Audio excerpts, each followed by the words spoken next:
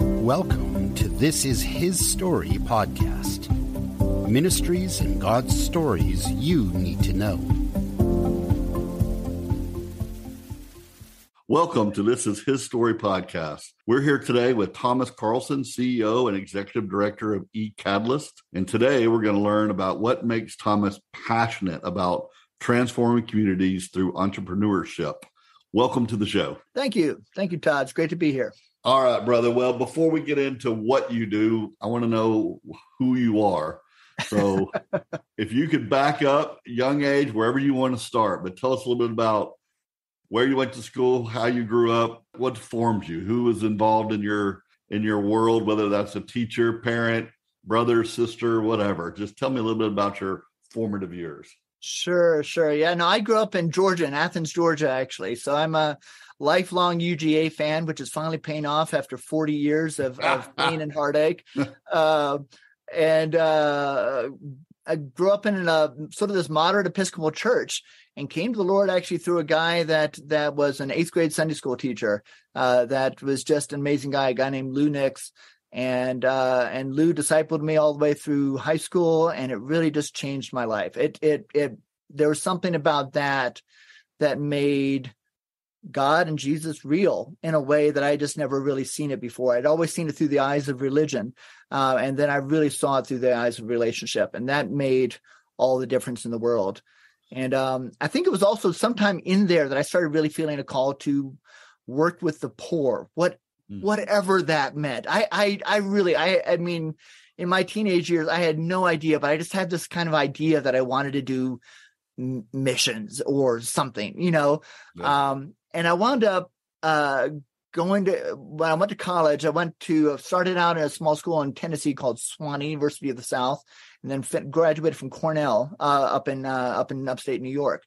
But my uh, my junior summer, I went, or the summer after my junior year, I went to Haiti for three months, and I I learned Creole. I'm hanging out in this community four hours out of Port, Port-au-Prince. That's like I was the only white person for two hours drive in any direction. Wow. Um, and so I mean, it really was it was just this crucible of cultural and learning and everything else.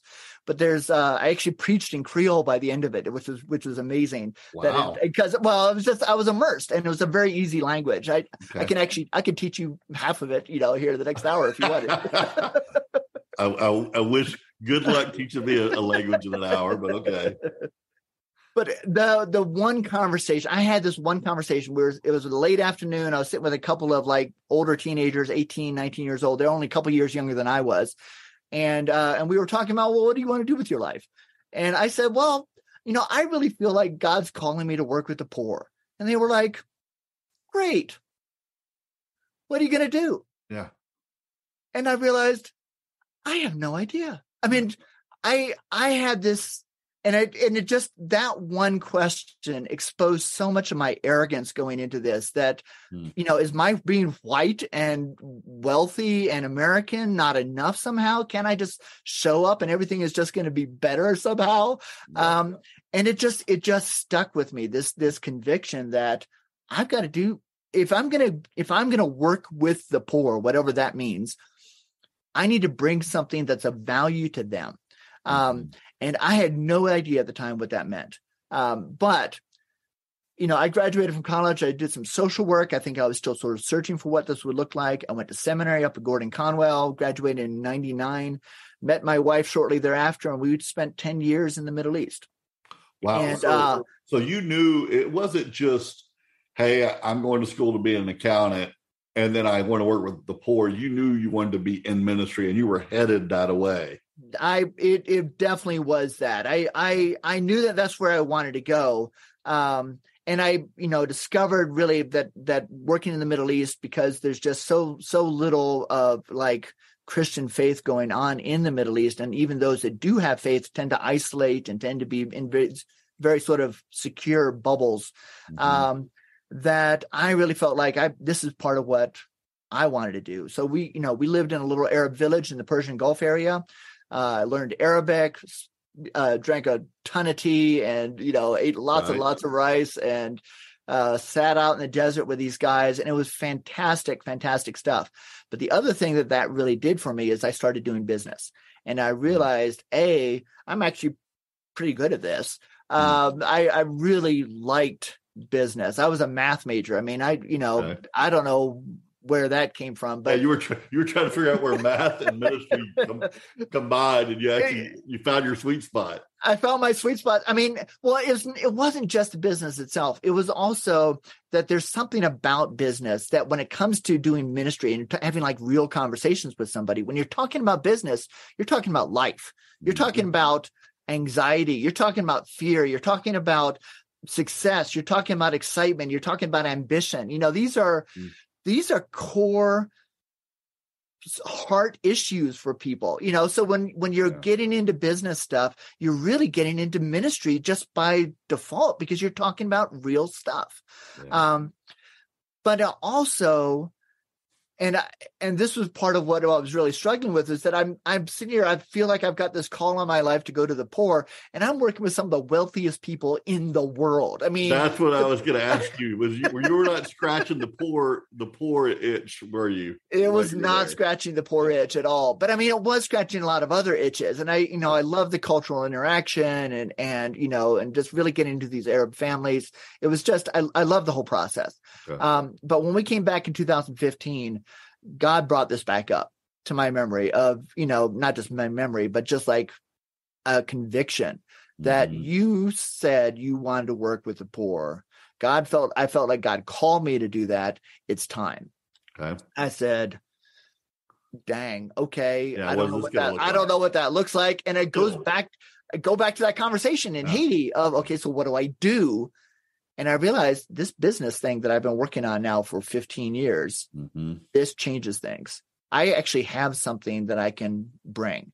And it's, you know, it's about ownership. One thing I really felt convicted about is that, you know, charity in some ways really doesn't work. And I and I and I know there's a lot of people out there probably listening to this even that that struggle that you know give money to charities and i and i don't want to i know the intention is always a good thing but there's mm-hmm. something about it that can be really destructive because um a it creates dependency you know when you know if your house burns down you need stuff. You right. you you got to have stuff right away. That relief is essential. You have to do that. When there's an earthquake when there's a t- tsunami you know we've got to get relief out there. But if that relief is still there 2 years later then people are beginning to thrive on money that's being given to them without them having to contribute materially or constructively to their own society and that creates dependency. And nobody sets out to be dependent. It's not that these people are being dependent. I mean, you and I, if somebody gave you $10,000 a month and you didn't have to work anymore, Where's you wouldn't, right? Nope. You know, nope. you would, there's just no reason to do it.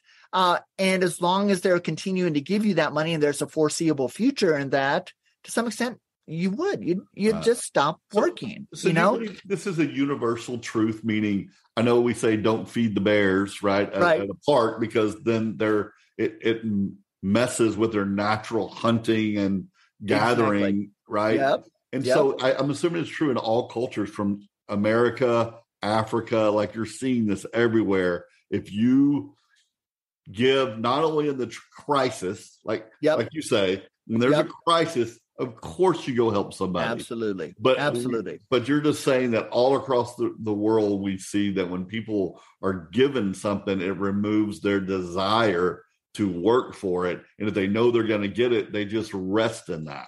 Right. And that would happen for you and me. It would happen for anybody. It's not we we can't get this idea that well africans would do this. No they wouldn't. You you and i would do I would it do i mean it, it just it's it's a natural response to being given something that that allows you not to have to put effort or time or pain mm-hmm. into trying to create something else but mm-hmm. when when somebody does create something when we when we inspire that that creative potential that god's given to us mm-hmm. to actually build something and then those who can support us help us do that it not only feeds us it not only mm-hmm. takes care of us it also it's something that we desire. We we we feel ownership because that I think that ownership is part of what I think is our imago Dei. It's that that image of God that when God created the world, he said, This is good. Mm-hmm. When we create something, we feel that creation, we feel that power of that, there's something just good about that. And when Amen. we do that in developing countries and they create, yeah they will keep it going. That's how you create sustainability. As long as we're pouring money in, we're not creating sustainability. It, sustainability is one of those words that just gets tossed around everywhere just because we've done a, a church or a, a, medical center or something else. Huh. Sustainability comes when we don't have to pour money in next year. Right. Right. It's the Vegas word. People the answer is okay let's say you're working on sustainability like you say it's a, mm-hmm. it's a mm-hmm. carrot that moves and no one ever catches it like, oh, we're sustainable. What does that mean? Does that mean one percent, fifty percent, a hundred? Right. Is it ever is it will it ever be a hundred? And right. people spend tens of millions, hundreds of millions of dollars into sustainability that never reproduces that hundreds of millions of dollars. Right. Right. It never it, actually becomes sustain, self-sustaining, which is yeah. what sustainability in some ways really ought to mean, at least in my mind. Anyway. No, to- totally so. agree. Okay, so let so let let me make sure I'm I'm getting this right. So two things that you really were seeing. One, as you were as you wanted to help people, you were seeing, wow, I guess I could help the poor in the fact I could assist them in their time of need. But right. because because of what you were learning in the Middle East, you started thinking, wait a minute, if I can help pour into people and their jobs or mm-hmm. their um what what's the word I'm looking for? Business. Like yeah, their businesses or or, or mm-hmm. them as entrepreneurs, you're killing right. two birds with one stone. And right. so this idea and this passion collide. Absolutely. So what did you do about it? Like, so that's a big thought. That doesn't mean anything happened. You can just be driving in your car and say, "Oh, I have a great idea," but executing that idea is yes another deal. So tell me about that. Yeah, because there there are a lot of people that are out there trying to do entrepreneurship, and and I think all entrepreneurial activity, to some extent or another, is a good thing. But I think there are better ways to do it and worse ways to do it too. Uh, I think one of the things that I feel like is really important is that you know when we're going out to help the poor, what we need to do is come out underneath, not from top down, not coming mm-hmm. down over them and saying, "Oh, you poor." pathetic people here let us help you because that that communicates even though we're feeding them we're communicating a message that says you are incapable, you're incompetent, you don't have the ability to feed yourself. We'll feed you for we'll feed you for mm-hmm. you. Yeah. And that's not empowering. You're not helping people stand up on their own. Right. But if we can come up from underneath and say, "Hey, you've got an idea and I believe in you. I want to support you building that idea. How can I help you?" Now we're coming up underneath them and yeah. they're beginning to build something and then they love that thing and it keeps going because they're invested and they want to make it happen. Oh amen. Or i'm gonna i interviewed a lady actually ironically her moment her her epiphany moment was in haiti as well. And she here she does so many things i'm not even going to get into all the stuff she does but one thing she does is she goes to people who we i'm using the word christian american we we're quick to throw money at something. Right. And as like that's going to solve it whatever that right. is and she comes to people and says, What do you need? And if they're like, I just need a ride to work. Yeah. I, I don't have a car. I just need a ride. Right. She'll give them the ride before uh-huh. she gives them money because they want to, they, to your point, no one wants to sit. We're not built to sit around. Right. And so she goes to people and says, Do you need a suit to help you get a job? I'll give you a suit. So she gives people what they need for success. And that's right. sort of what you're saying not coming down like, oh, here's a hundred bucks and pat on the head. Right. It's empowering yep. people to perform the way they're we're wired to perform. And that yep. is the work and the entrepreneurial mindset, right? It's uh, I just want to make sure I'm saying that correct. Because yeah. it sounds like the same thing, but you're doing it with business. Like it's a business plan. Right. And I think that's that's part of the key. I mean, I think when we're giving people things like food, like even clean water, which again, I don't want to knock anybody right. giving clean water. Clean water is important. Uh, but when we do it in a way that comes from us top down, drilling a well for them, then they don't fix the well because it's not their well. They never owned it. You know, it wasn't, mm. it never became theirs. but when we're even when we're doing these things, we're treating the symptoms of poverty. We're not treating poverty itself. We're not solving poverty. We're just treating the fact that when you're poor, you don't eat, or when you're mm-hmm. poor, you don't have clean water, or when you're poor, you don't have power. These are all symptoms of poverty. They are not poverty themselves. And so mm-hmm. trying to address poverty means addressing the economic realities that are on the ground that help you know that that keep people from ever being able to feed themselves or being able to get water themselves if you give people a job or if you help them start a business now suddenly they can start taking care of themselves because they have the economic resources to be able to drive their own yeah. sustainability all right, I love it. I'm probably asking a question that's 20 minutes in the future, but I'm going to go ahead and do it now. Not everybody is built, just like you and me, we may have different mm-hmm. levels of entrepreneurship. Like one of my best friends, he would never start a business. He just needs his paycheck and sure, just, sure, he, sure. He's comfortable. And then I'm more of a I'm more of a risk taker. I'm more of an mm-hmm. entrepreneur. Mm-hmm. So mm-hmm. you can't. I'm assuming you can't go to anybody and say, "Here, we're going to help you start a business." You're looking right. for people who are wired and are already hungry for that. Yes, not forcing it on somebody. Absolutely. Okay, so how, yeah, do, you, how do you do that? Well, okay. Well, I mean, that's that's that's a really good point. Maybe to, before we get to how we do it, just okay. why we do that. Okay. Because I I do know people who come in and say, okay, we're, we want to hire somebody to do this, and of course, people need a job, so they they'll they'll raise their hand and they'll do it, but it's not really theirs. They didn't right. really create it themselves.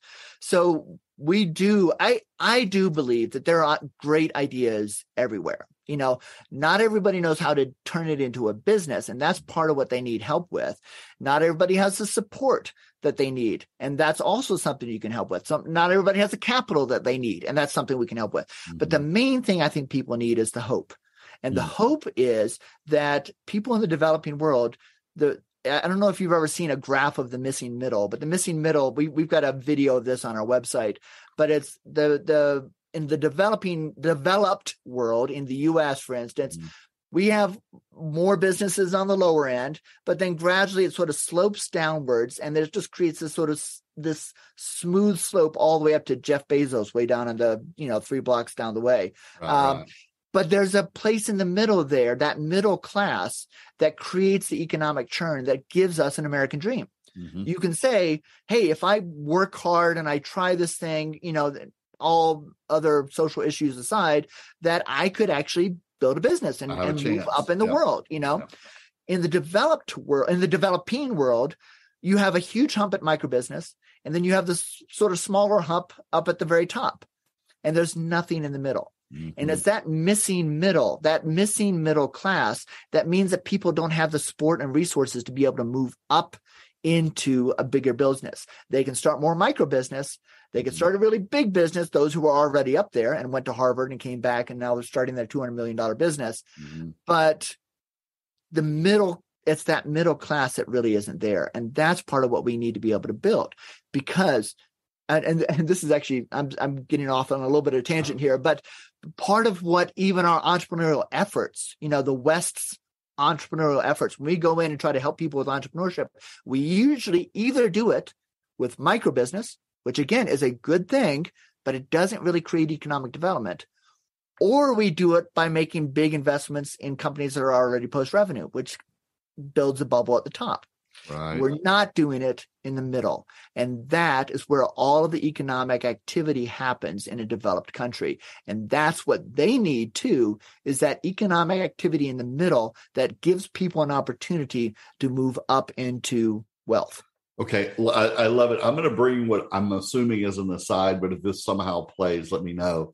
So I, I have a, a buddy of mine, and we were talking about how you move from lower lower class to middle class in, in the mm-hmm. states. And there yep. was there was an organization that did this giant decade study, mm-hmm. and they said there is you have like I think it's like a seventy five percent or eighty percent chance of moving from lower what to middle class, and it was mm-hmm. if you do three things: finish high school, mm-hmm. don't get married, don't get pregnant out of wedlock, uh huh, and have a job. Okay, those three. That's it. Really? If yeah. you do those three things, you will jump to the. I mean, and statistically, over decades of time, just right. work, right? Get married first before you have a kid, and yep. and get a GED, finish high school. And if Yep. you just do those three things, you will work yourself out. And so Yep. I, I just wondered when, because I, I, I was with in Kenya the other day, and me and a guy were talking, and we were talking about, wow, it looks like there's a new middle class. Like they're like it. You know how you know how it is in Africa. Yep. You know Yep. probably way more than me. Like you're it's Yep. shack or condo. But Right. there was a lot of movement and and restaurants that made me think, wow, this middle class is growing. It is that- growing. And so. Africa is a, I guess if we can talk about that in, in a minute too, but Africa seems to really be changing as people do what you're talking about. They Yes. find that gap between the filthy rich Uh-huh. and the and the super poor. Right. And as those start meeting, that's when you have this economic growth, right? I Right. just want to make sure Right. I'm I'm hearing you. And No, no, no. You're you're absolutely right. Yeah. No, I, I I think there are some countries where that's really happening. I think Kenya is one of them. There's a there's quite a bit of movement going on there. It's still developing, but it's developing farther than a lot of other places. The DRC would be a place where that's just not happening. Okay. Ethiopia is kind of in the middle right at the moment. Um, Rwanda, Rwanda, it, they're sort of the super exa- poster child, right? sort of, but the problem is with Rwanda is that a lot of the banking systems and everything is still keeping that middle missing a large part. So they've got a lot more stuff. They got a bigger bubble at the top, Okay. but a lot of their population is still very much at the bottom. So so again, it's it's it's seeing the pathway. It's for Mhm. somebody near the bottom or who, you know, comes out of college because again, here you come out of high school and you can probably get a job. That's not always guaranteed in the developing world. You know, you can come out of high school, you can be all prepared for a job, and there's just not any jobs available. Um, Right. so what people need to be able to see is okay, I've got an idea. I think this could work, but I don't know what I'm going to do with it. I mean, what, you know, where where am I going to go? Nobody's going to give me a loan. Nobody's going to give me anything else. If we can come to them and say, okay, listen, here's what you do. In 3 weeks do this. In a month and a half do this. In Mhm. 6 months you do this. And then in a month a year later we'll help you do this. And then 2 years after that we'll help you do this. And Mhm. then they can start seeing the way that their business could start becoming a reality and they can go, "Wow, okay, I'm going to do this." Yeah. and now it's still their business. They're still the ones owning it. They're creating, but they're creating it in a way that that has hope to actually grow. yeah. And if you can create a whole community around that, then when one of those out of the community starts growing, everybody else looks at that and says, "Man, if he can do it, Pull I can up. do it too." Yeah. I love it. Okay, so so your organization not only says we'll help you finance your goal, we'll literally help you business plan it so that you know Yes. what steps to take. So you're really offering both with the loan. Right, exactly. So what we're what we're trying to do is we're trying to create sort of a decentralized incubator. And what that does is we're looking at there's there's a lot of organizations that aim at high economic growth, some of the endeavors, I think FDI does a good bit of this, and there's a lot of organizations that aim at lots of people, you know, especially charities want to help as many people. Compassion is great at this. You know, they help tons and tons and tons of people and they get education to, to them and they're, you know, they're giving money away, but they're not creating economic development. Mm. So what we're trying to do is figure out how do you do both? How do you create a large scale economic development that affects a large amount of the population and builds that middle class? And the way that we want to do this is through these sort of decentralized incubators. What we're going to do is create cohorts of entrepreneurs. So these are entrepreneurs working together on their businesses. They've got support with each other. They can ask questions of each other. They can start getting ideas. You know, if you you're sitting in a room by yourself, you can come up with 20 ideas. I can come up with 20 ideas. But if the two of us get together, we can come up with 200 ideas. You know, there's Mhm. we bounce ideas off of each other and then uh, and then if they get to a certain point where they can start pitching their idea then they can pass into the next stage where they can start getting access to catalytic capital. And catalytic capital is that kind of money that gives you access to like an mvp or a market test. You know you want to sell high end peanuts but you've never sold peanuts before. So let's buy you 40 kgs of peanuts and you package it into your little pot things and then go out and see if you can sell them in two weeks. Mhm. if you can heck let's get you another 40 kgs and, and let's get you 400 kgs you know? But let's uh let's do it small steps at a time so that you really know that you've got a market you know how to do it you can test it out. After that first 40 kgs you can come back well you know ask people well, was it the label? What is it that mo- motivated you to buy it not buy it? These kind of things. You can start finding these things out that are going to make your business work. And so if we lead people up that direction, then at some point or another, those who pass to a point where they're really to, ready to make an angel pitch mm-hmm. can pass into the next stage, get mentoring, and start actually getting them connected to angel investor networks and really start growing and scaling. So we'll capitalize this incubator through an incubator model, but do it decentralized at the beginning. So we're scattering the growth oriented ideas mm-hmm. on a mm-hmm. much wider scale and giving access to that growth orientation to a much wider population of people. Um, and then that incubator becomes locally owned. Right. So that we, right. as an international 501c3, are mm-hmm. supporting them building not only their own businesses, but the business creating engine yeah. is also sustainable. Yeah, exactly right. Okay. So I guess my big question is I'm, I'm assuming banks are your competition in different places because they rather loan, but of course their interest rates are crazy high and you're crazy high in some of the developing world. Yes. Yeah. I mean, so you're so how do you make a decision of where you guys focus and then how do the people who need you find you? Like how is this working? Well, that's that's a really good question. We're about two years in right now. One of the things that we've been doing, I, I, think I told you this before we started, that you know we've been capitalizing and then doing some stuff and capitalizing and doing some stuff. Mm-hmm. We've gotten a lot done. We've worked with over 300 entrepreneurs in Rwanda, another about 50 in Ethiopia. We've got uh, several cohorts that are still going on. But one of the things we're really beginning to develop, we've done it. We did a we did a test prototype online in India initially and then these these like four different t- prototypes in Rwanda. What we want to do in in Ethiopia now is actually build this model, and uh, and the reason we're choosing Ethiopia, Ethiopia is, does have a civil war going on. It's not. It's very much in the very northern part of the country. It's not hap- It's not affecting the most most of the country. But they've part of the reason that civil war is happening is because the former the people who used to control Ethiopia don't like the fact that there's a reformist government that's actually now in power right. uh, and they rebelled. And so there's this conflict and there's some stuff that's going on there that i don't even want right. to try to address right now because i know people on both sides are struggling with this issue.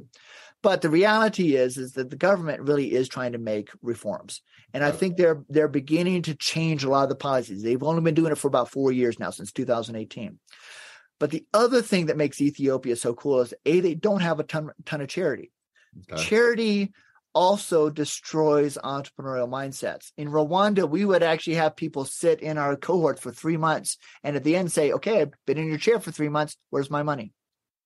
Wow. And we were like, That's not it. what we're here for. Yeah, we're not here to it. give you money. And but when you've been pouring money into a country for so long, that mindset becomes ingrained um, yeah. and it's just hard to get out of it. Um, and again, nobody's set out to be dependent, but you do it for long enough, and that's what winds up happening. So yeah. Ethiopia has not experienced that. There's a scrappiness and a and a hunger for creation in Ethiopia that I really love, and we've got a team there that is just top notch. Uh, we've got some entrepreneurs there that really want to see their country grow and uh, and I feel like we can build this entire program around them. So if we can get this started in Ethiopia, if we can capitalize, that's what we're really looking for right now is the capital to be able to make this happen in Ethiopia. Then once we've got that model together, now then we want to go back to Rwanda. We've got Uganda on tap. We've got Lebanon, Egypt. There's several different places. I, of course, love the Arab world. And I really want to get back up there, use my Arabic again. Um, but the but the point is is we want to make sure that this model really does work. I think it's got an enormous chance to do it. But that's what that's what we're trying to build in Ethiopia first. Okay, I, I love it. So I guess oh God, I've got so many questions. One of them is um, the competition again. Like Oh yes, okay. Hard to set that up in a country because once again, the people in the country are like, wait, you're coming here mm-hmm. to give money to entrepreneurs, and we'd rather hit them hard with our with ours. Like, what makes you legal and not and them to allow you, us to come in, if you will? Yeah, I mean, part of it is just tapping into the reality that a lot of people even even banks we're working with a bank in rwanda right now we've we've struggled with them with the interest rates as well because they don't want to give a fair interest rate and and we're trying to say you know we want to work with you No. but we want to help entrepreneurs more and you know if you want to do that work with us on that. And we figured out a couple different ways we can do that. We've got a we've got a uh, another bank up in ethiopia. At their core people realize that building businesses is the way to develop their country. And anybody who has a much broader picture including the banks even though there's a self-interest there realize that this really is the way to grow an economy and and get off of charity. Nobody likes to be on charity. Uh, it's again we like to give it but they you know ultimately even though they're happy to take free money i mean who doesn't like free money Right. but nobody loves to be on charity. Everybody wants to be able to be, do things on their own. So there is a real sense that people want that. So we, I, it's actually, it's not as hard as you think. It, it really is. There, there are people that are out there, and when we say what it is we're trying to do, there's a lot of people that rally to say, "Okay, we want to help you do that." Okay. You'd be surprised. Okay. All right. So I guess because of what I do for a living with with you know fundraising, I Mhm. guess your business model as an as a charitable organization, right, Mhm. is you're you're you don't really have investors, you have donors. The donors are investing into you to pull off the mission, but they're not getting a return on their money. They're they're literally donating so that you can pull this off. Actually, that's not entirely true. There, there, we actually have two different pots of money that we're trying to raise right now. Okay. We're trying to raise eighty thousand dollars for Ethiopia, and Okay. what we're going to do with Ethiopia is actually capitalize that like a for-profit business, and there's it's going to be a loan. And Okay. part of the reason we're going in as a loan for them, and we're going to pay off the loan to our investors too, Mhm. um, that is that we want them from the very beginning to say revenue is essential. You have to build revenue, Mhm. um, not just in the businesses you create, Right. but even in the engine of those business creations, we need to build revenue from the beginning because that revenue not only will pay off the loan, it'll keep you going long after we're gone. That's So that's what we want to build in there right away. Uh, now it's concessionary capital. So it is what we're looking for. And this is part of what I, I really want to pitch to people out there who actually understand investment. When you do investments, you think about building value. That's why you do it. You're building value and it gives you return on your cash, particularly. But but then we take our charity and we throw it into this black hole where we need to give more charity next year and more charity the year after that and more charity the year after that. Why not take those charitable dollars and use the same value system that you use with your investment dollars Mhm. with your charitable dollars, but put it in that high risk space. This is these are startups. These are startups in the developing world. It's going to be risky and we may not get it back. I think we can, but we may not. And if we take that concessionary capital, that charitable capital, and put it into that risk, uh, that risky space, that can still build value. It may not be necessarily revenue value, but it can Right. build impact value, if nothing else Right. even possibly get a return on your investment, that's charitable money that's actually being used for sustainable purposes. And you know that because you'll get it back, you know, and that's part of what makes things exci- exciting about that. But then we've also got the 501c3 that is going to be the support organization. It's going to be, we're basically doing a franchise model, but we're not franchising here. We're just franchising over there. Gotcha. So this 501c3, we do need to raise charitable capital for that. So we've got another 150 that we need to raise just for us um, in order to keep functioning and keep supporting them. So that's it's those two pots. So you're at least half right as far as the Yeah. the, the, the charitable stuff goes. But we do have that that vehicle for people who want to take their DAF money and put it into something that will actually pay them back. Yeah, no, I love. I absolutely love that idea. Um, okay, so what you're doing is building a, a case study because in two years, three years, five years, you'll be able to say this many percentages of businesses are making it, and this much loan payback, and you'll have a formula, but you don't know your formula numbers just yet. Exactly. Gotcha. And so you'll be able to prove, hey, this works, or it's not working, it's almost working, and here's what we need to do to dial it in. And and there will be i mean this is this is part of what i tell entrepreneurs all the time is that you know failure is your biggest teacher. You know it's going right. to be the thing that you learn the most from. And so i encourage my entrepreneurs is you know when you fail throw a party and let's let's celebrate that because you just learned a ton you know and now you're going to be able to do it even better.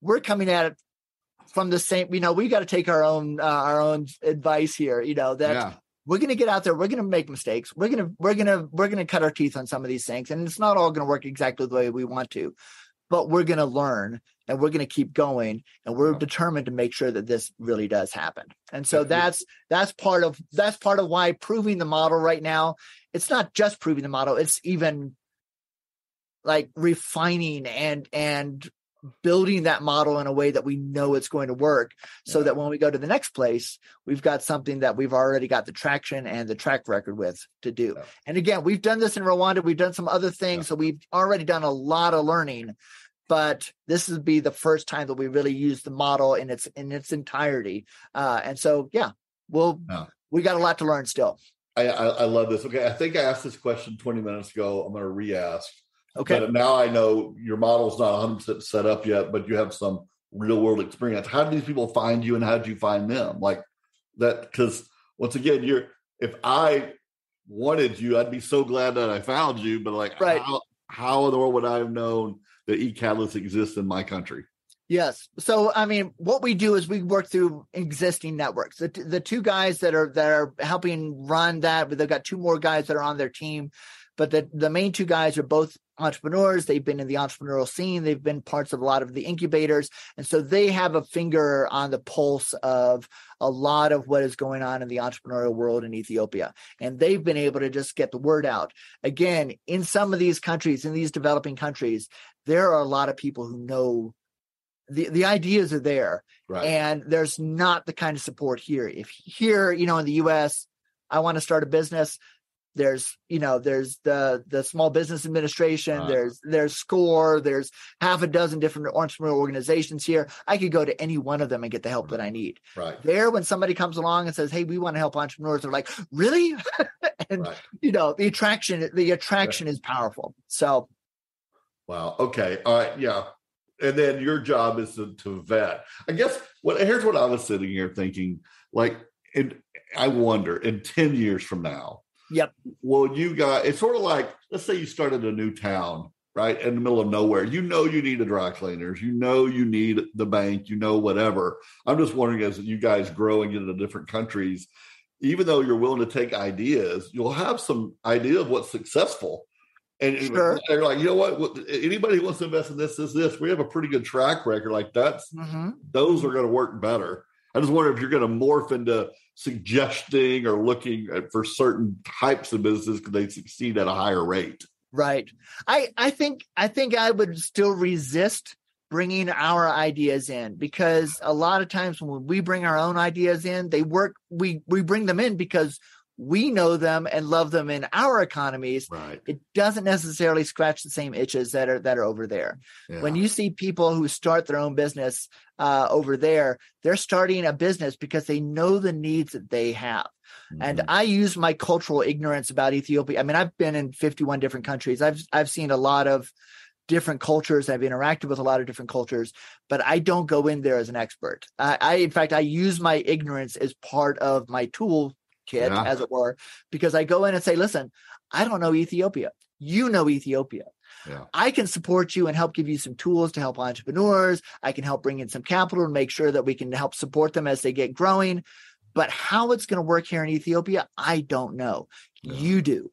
Yeah. You need to be the one to do it. And then that empowers them. They feel like, oh, you really want me to be a leader. You're not just saying you want me to be a leader, you actually want me to be a leader. And now I can be the support for my mm-hmm. leader there and really give him the power to do what it is that needs to be done there. Yeah, no, totally love it. Do you have a, a, a forecast of like your caps, like different business models? Like one guy may need a million dollars to start up, the other guy just needs five thousand. Yeah, like, do you, do you, you know where your sweet spot is or where you're aiming? Well, what what we're we're gonna we're gonna build up one way or the other. So we've sort of got a four pro- part process. The first part is just ideation, and it's kind of the promotional thing. So like go to a big fill a banquet hall and just you know or a university stadium uh, auditorium or whatever and just do a day's worth of ideation let people think about ideas and businesses and nothing else um, if they're going to get into the cohort they have to have an idea so they have to have a canvas filled out and at least have an idea of why what they're doing is a business and how they've got a customer then that next 10 weeks they would be really working on validating that idea going out making sure that there really is a market that their that their yeah. customers you know because most of us as entrepreneurs we have a tendency to have this thing called innovators bias which is this idea that everybody's going to want this new widget. everybody if i build it they will come you know it's it's, we're gonna be beating people off of us. They're gonna exactly, our doors exactly. Who right. who wouldn't love this thing as much as I love it? And right. the reality is, nobody is going to love the thing that you created as much as you did because you created it. You know, you're the one that built it. You put the time and the effort and the sacrifice. You made the thing, so of course you love it. And there's nothing wrong with it. Yeah. But what you need to find out is what do the customers love? What do they really want? And will they pay so, that price for it? Exactly. Not not the price you think they'll pay for it. Right, right, right, right. I I I can't I can't base the price on my love for the product because again, my love is always going to be higher than anybody else's love. Wait, uh, well, welcome to my world of uh, nonprofits. it's the same thing. Every nonprofit's like, if the world just knew what we were doing, they'd want to give to us. Absolutely. So they have that mentality that everybody wakes up with a hundred dollar bill burning a hole in their pocket, right? Looking for somebody to give their money to. It's like that's not the way the world works, buddy. like we got to tell our story. And you got to find your price point and figure out location, location, location, all right. the things, right? Absolutely. So you force them to not only assume, but to to work that through, work it out, and come back to you with proof that no, I did sell yep. five thousand peanuts on that corner on a Saturday. I know I can do that in the future. Right. Exactly. Okay. And, and and nonprofits are are hard in some ways too, because the people that pay you are not the end users. Correct. They're not the ones that actually use the product. The product my product is being used in Ethiopia, but my my my customers are actually here. Mm-hmm. So it's really got to be more of an investment mindset where mm-hmm. I'm telling a compelling story that look at what it is we're able to create there. Look at the the sustainability and the capacity that's being built there. Would you support that happening? Mm-hmm. Um, and that that's how the donations work. Investments are a little bit different because you could actually get a financial return on that. And we're offering that concessionary capital, which I think I hope will appeal to to people who actually are investors. But uh-huh. it's it's it is a different, it's a slightly different thing. Mm-hmm. But the same principle applies. Just because I love what eCatalyst does and I've given up my career for it. I mean, this is I put everything on the line for this. Nobody else is going to do that in right. the same way that I do. You could give me a hundred bucks, but that's not the same. I'm, I can not ask you to like give up your career in the same way that I've given up mine. You know, right. this is my passion. This is what I love, but I still got to find the thing that connects with you.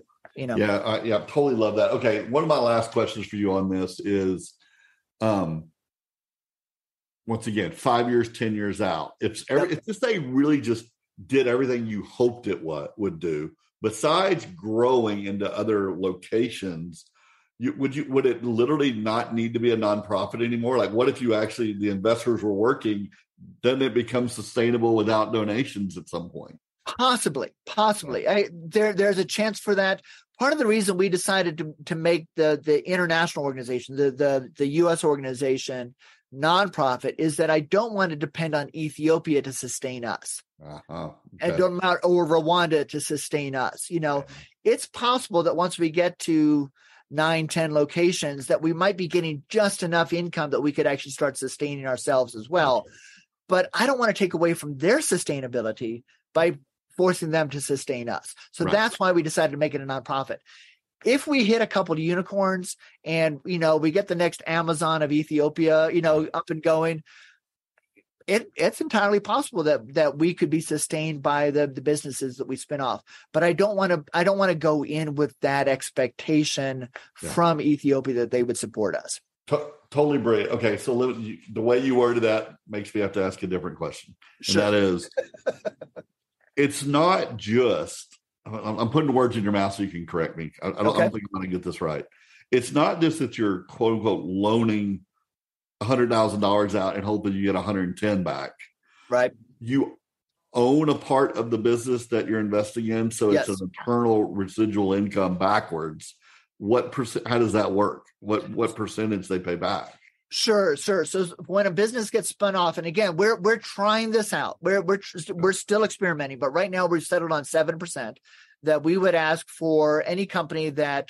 Uh, so once they get through the ideation, they cross that go no go decision, and they get into commercialization. Now they have access to catalytic capital. Now they have access to the next sort of training, uh, and the and a cohort of people that are all in that stage that uh, we would ask them there and not to not for tuition, but for seven percent of their their company. One of the things that Ethiopia does do well, even though some of their monetary policy is not the greatest, Mhm. one of the things that they do do well is that they have a great share, you know, like um, a corporate a corporate structure Okay. in the legal system so that you can easily take shares. It can pay back in dividends. Now, the vast again, the vast majority of those that we take shares from aren't going to, you know, we might get a hundred bucks at some point or another, Right.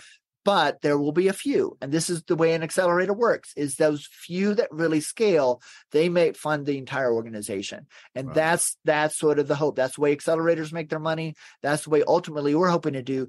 We're just expanding out Yeah. bigger at the bottom end of the funnel or the top Yeah. end of the funnel, depending on which way you look at it, Right, right, uh, right. At the top end of the funnel, so that we we're developing the ideation in a way that people who don't even get into our funnel might still ultimately build a business. Yeah. Yeah. No, totally get it. Oh, yeah. Well, let me just, I mean, let me applaud you. I—we've got to talk in three years or hopefully way before that. But I just got to know like, this is a gr- great case study because Mhm. this, you're, you nailed it and you're 100% right. We've got, and I use the word we,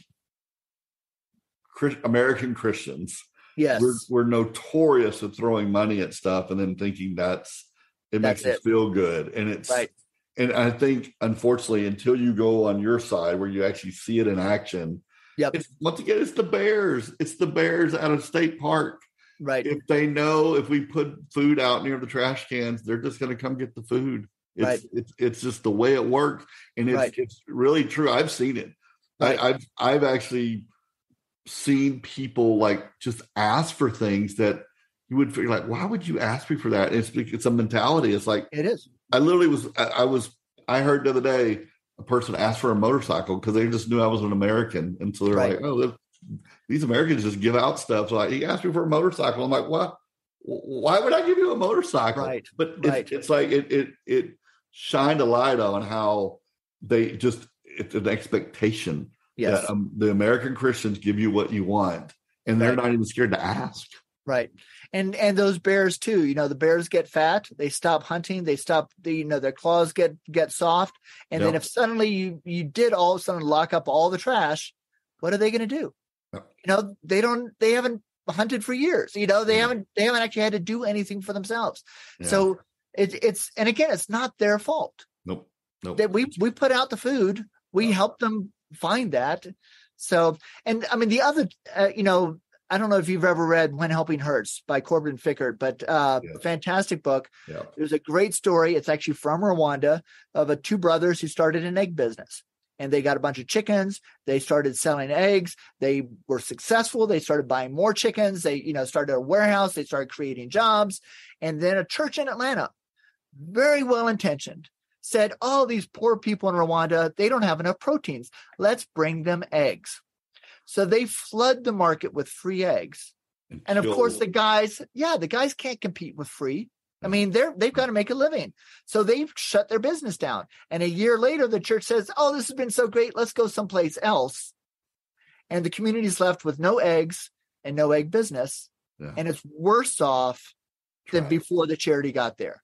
So charity really does have a destructive power that can kill industry in a way that we've got to be very, very careful about the way we use it. Again, in relief and relief situations, totally makes sense. If there's an earthquake, we got to get houses, we got to get food, we got to get things to them. But we can't maintain that indefinitely, or else people will not be able to build it themselves. And we've got to give them the chance to do that. No, beauty, no, beautiful. Thank you for saying that. You're 100% right. What you're doing is you're letting people who live somewhere know the market, have a way better feel for what's going on than us. Because one thing that drives me crazy about the American mission missionary journey is uh-huh. we because we're not the Catholic Church. I'm not I'm not trying to say the Catholic Church has it right. I would just say they're better off than Protestants in the fact that they have a structure. Uh-huh. Right. Like they have a structure and things get passed up the buck and they know where everybody is and where their churches are. We have so many autonomous, denominational, independent, whatever, that like right now we have churches are like we're going to send some people to Rwanda to be missionaries, and right now there's five missionaries packing their bags coming home because right. they can't find anybody to support them, and we're sending right, right. new ones. It's like right. And so what happens is you have a culture of people coming and going and money and throwing money and throwing ideas. And to your yep. point, hey, let's give them eggs. Ah, we're not eggs. Ah, let's give them t-shirts. You know, right. you know, it's whatever. And right. we have this chaos in our mission work because no one owns it. Right. And and we're all just throwing and what that does is it creates a mess on the other side. Yep. Where these people are just getting money and they're like, oh, if you're going to give me money for t-shirts, then oh, okay, I love t-shirts. Oh, your eggs. Okay, no, I love eggs. Right. And they're just right. adapting to the money coming in. Yes. And they're not hungry to create their own companies anymore. Right. It's just, it's a, I don't think people understand that they're listening. They don't understand. It is a really bad mess in yes. Africa and some other. I mean, I don't know where. Lots of other places. Cam, Cam, Cambodia is another spot which has just okay. been inundated with charity, but it's the same. It's the same mentality. It's it's the same kind of issues. So it just, yeah, you're absolutely right. It just it, it it's it's hard for people who you know who've been given charity for a long time mm-hmm. to really take a hard look at what they've what they've given to because eh, again I'm not, I don't want to fault anybody who gives away money. I know it's well intentioned. I know your heart. I know you're trying to do this.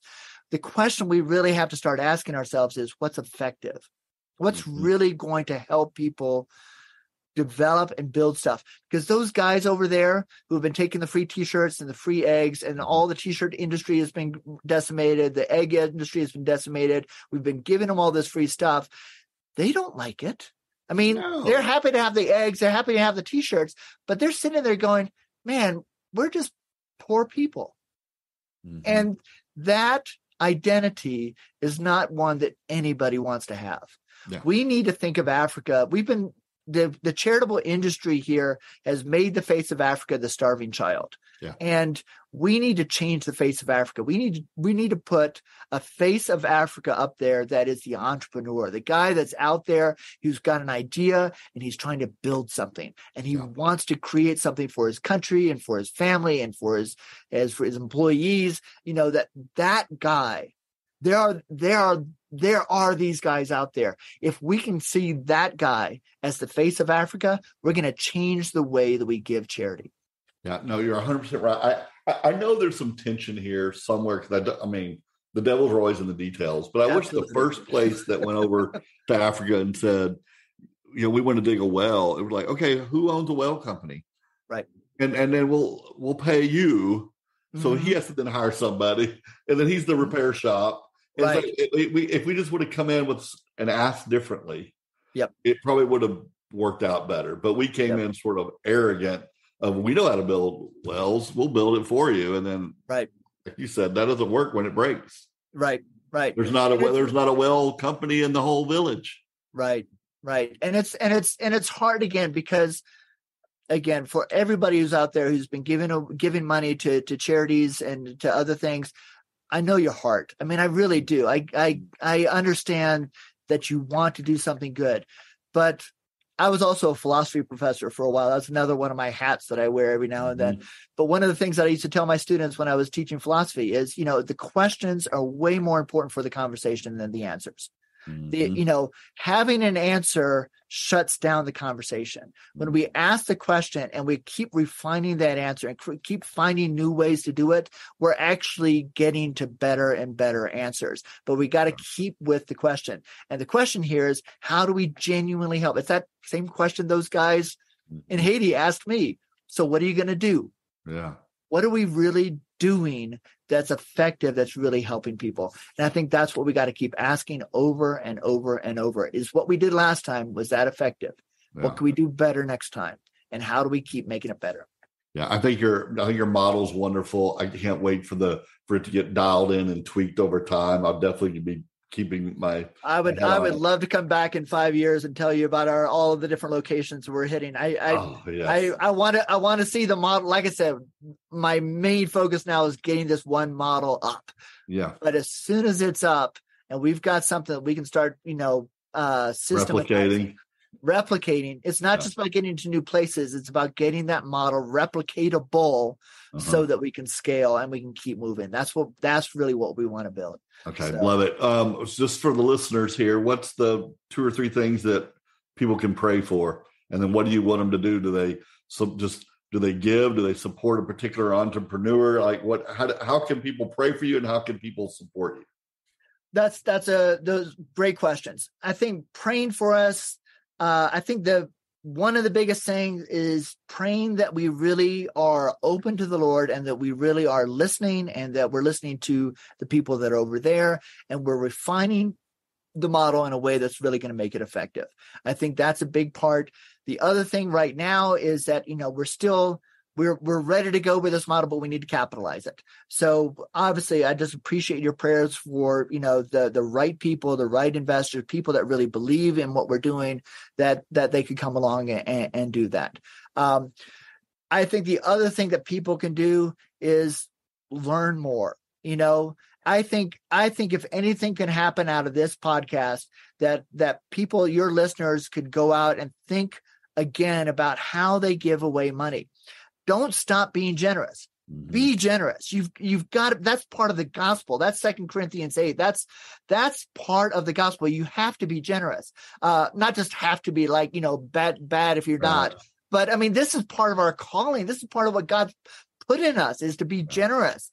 But be generous in a way that genuinely impacts the places that you're being generous to in a way that's good yeah. And and I would just say educate yourself. Read When Helping Hurts. That's a great book. Toxic Charity is another good one. Uh, that one sounds a little bit more negative, but it's, but it's but but it's but it's uh those are they're, they're easy reads and they will they will change the way you think about giving.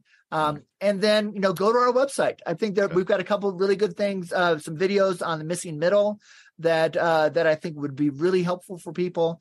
But we just I just want to help people give differently in a way that's truly going to impact the people that we want to reach. Um, and and by the way, too, I realized we didn't even talk about the ministry aspect of this. Part of what we're trying to do with this is do this all through Christian leadership, so mm-hmm. that Christians, the, the believers in an environment, can get out and have real influence in the marketplace for good you know, in a way that the marketplace says, wow, those Christians, they're really doing something mm-hmm. good for us. That's incredible. Yeah. They're not just coming out and handing us a tract, they're helping us start businesses. That's amazing. Yeah. If we can raise that reputation of the believers in an area, that that changes the way the gospel interacts with an environment. No, I love it. Yeah. So the Christians aren't the people who just bring a bowl of rice. They're bringing, they're helping, they're investing into me, and that screams yes. something way better and way different. Okay, one last question. Sorry, you okay. you, you, you, said something that made me wonder. When you have your criteria for a business, yep. do they do they have to be Christian to no. apply?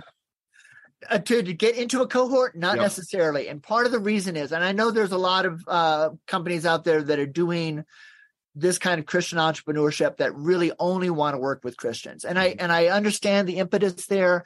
I understand the idea that we want to build the Christian community up. But especially in some more hostile places or unreached areas, part of what I've seen over there is the Christians can tend to create this sort of little societal bubble where they've been self protective, they're keeping themselves safe, mm-hmm. and that even when they build a business, they really only ever serve the other Christians in that bubble. Right. And it doesn't, the Christians never wind up having an influence on the rest of society. And yeah. so part of what we're doing is saying, let's help all business people, but let's do it as Christians. Let's do it from the motivation that comes from the gospel, but let's bring in the, the non Christians and say, we want to help you guys. We want to have an influence for good for you.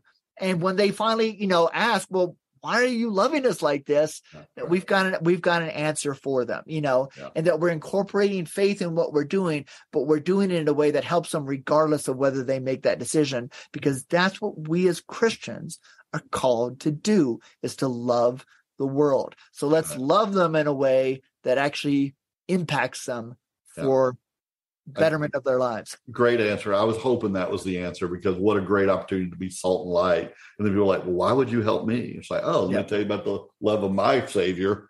Yes. That what makes me love you. And it opens yep. that door in a way that if you just stay in the Christian bubble, that's not what we were called. We were never exactly called to stay in the and only support Christians. We're called to be salt and light, which means you have to be salt and light. Amen. And so, amen. amen. Good for you, brother. I'm glad to hear that. Well, brother, thank you so much for taking the time. I will, we will re-interview for sure. Okay. Uh, I, I, I, would, I would love that. I really would. I, I'm, I'm looking forward to seeing what God does in these next couple of years for sure. All right, brother. Thank you so very much. Thank you, Todd. Thank you for listening. Be sure to follow on TikTok or Instagram for daily stories Christians need to know. Wanting to increase the reach of your ministry or your church's ability to make disciples? Come to my website for free resources and webinars built exclusively for Christian nonprofits and churches. CreativeDigitalGuide.com helps executive directors and pastors learn how to gain ministry partners to do God sized missions.